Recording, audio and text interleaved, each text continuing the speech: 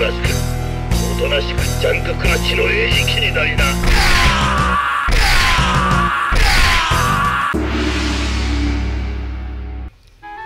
こんにちは。レフト兄弟です。本日紹介するのはこいつ。ロマン堂さんから発売されました悪魔ロッケ師のジャンクマンになります。こいつは地獄巡りナンバー3血の海地獄ですよね。こいつなんですけどもウォーズマンの体の中の50リング。この1回でねロビンマスクと戦ったんですよね。今回はこのジャンクマンこいつを紹介していきたいと思います。では行きましょう。ジャンクマン。超人強度600万パワー。日常生活マジ大変です。このジャンクマンなんですけどもブリスターケースの方に普段は入っているんですよね。これはいつものように取り出した状態になりますでカード範囲行く前にこんなのがね付属で付いてましたこれね、やっぱこの部分がね、ものすごく重たいんで、まあこれがない状態だと、やっぱね、ちょっとね、自立がね、すごい悪いんですよね。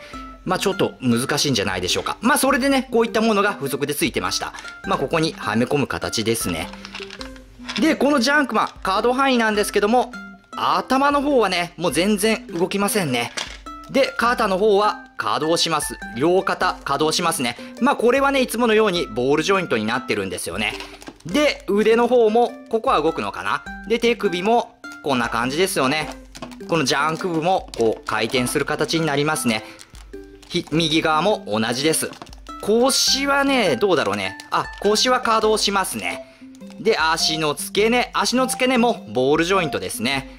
で、膝は、これは固定になりますね。全く動きません。ここはどうなんかな？ここも動かないですね。まあね、これどっちかっていうとね、やっぱソフビになっちゃうんですよね。カード範囲はものすごくやっぱ少ないです。でね、このボールジョイント、僕ね、ちょっと発動としたんですけどね、これね、むちゃくちゃ硬いっすね。多分外そうとすると、壊れます。で、こいつなんですけども、裏の方、ダブルフェイスですよね。これもね、再現されてるっていうのはね、すごくいいですね。まあ、こういった状態になるのかな。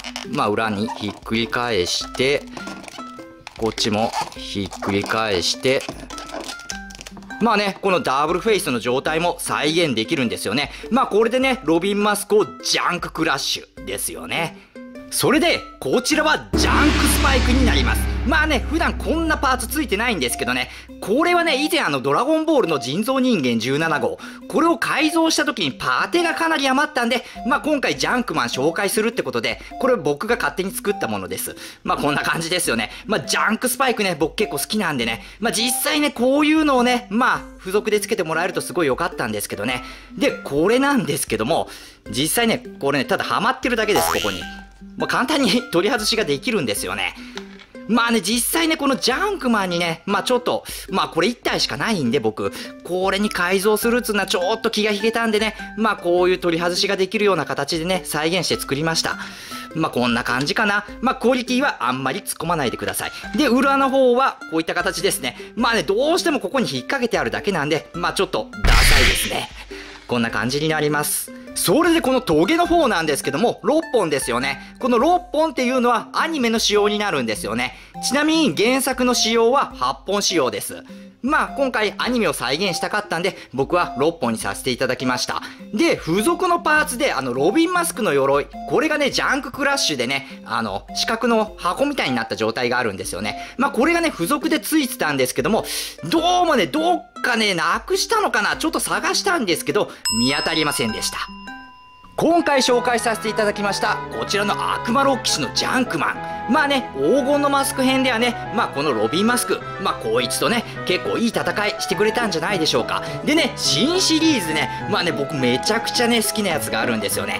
あのここら辺がね炎がついたねオーバーヒートジャンククラッシュ。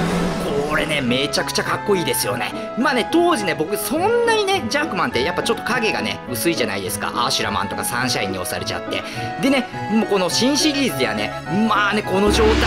かなりかっこいいですよね。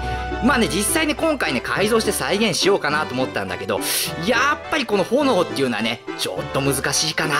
このジャンクマン。今ね僕結構好きな超人です。ご視聴ありがとうございました。また次の動画でお会いしましょう。バイバイ。